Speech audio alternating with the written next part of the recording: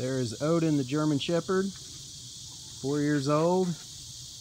And he's a German Shepherd whose parents like to feed him strange and unusual food.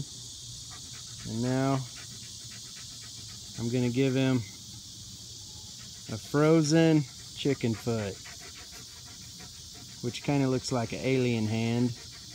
This is one of his favorite snacks, and we just went on about a mile long walk around our neighborhoods.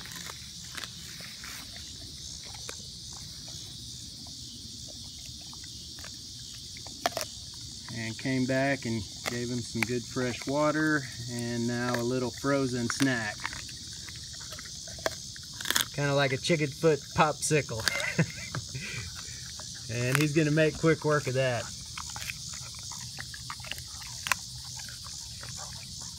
Just a cool little treat after a long walk. It's kind of hilly where we live, so we walked about a mile through the neighborhoods.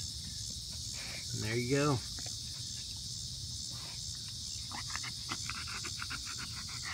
Like, share, subscribe. Thanks for watching. Odin the German Shepherd.